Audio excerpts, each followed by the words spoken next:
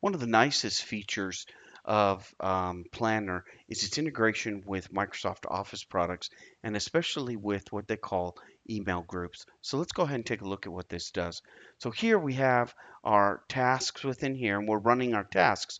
But one of the nice things about tasks is this comment section where we can track. Now, I only have this example right now of myself, but imagine multiple people on here making comments, things of that nature, working on the task. Maybe there's multiple checklists things and lots of people are working on it. And if there's a task in your group that you're not necessarily assigned to, but you want to know about, we'll uh, show you here in just a minute how to subscribe to that. But here we're focused right here on this comment section. And what's nice about the comment section is it has allowed us within email to actually view all of those comments as well. So let's go ahead and make a change here. And we're just going to say add a comment to Red Hat. And we'll put the time here, which is 2200. Okay, and we're just going to hit post. Now, see this right here? Add a comment to Red Hat 2200. We're going to go over here to our email.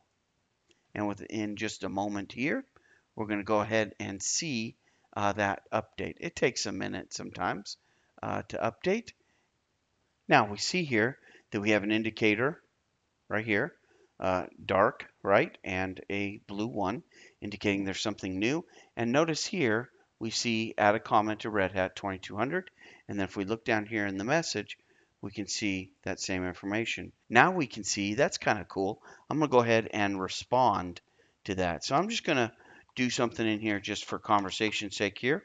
And we're going to say respond from email client. So imagine yourself working on a project with multiple people and we're just going to hit send. Okay, so we've we've gone ahead and gone in there and we're just going to hit send.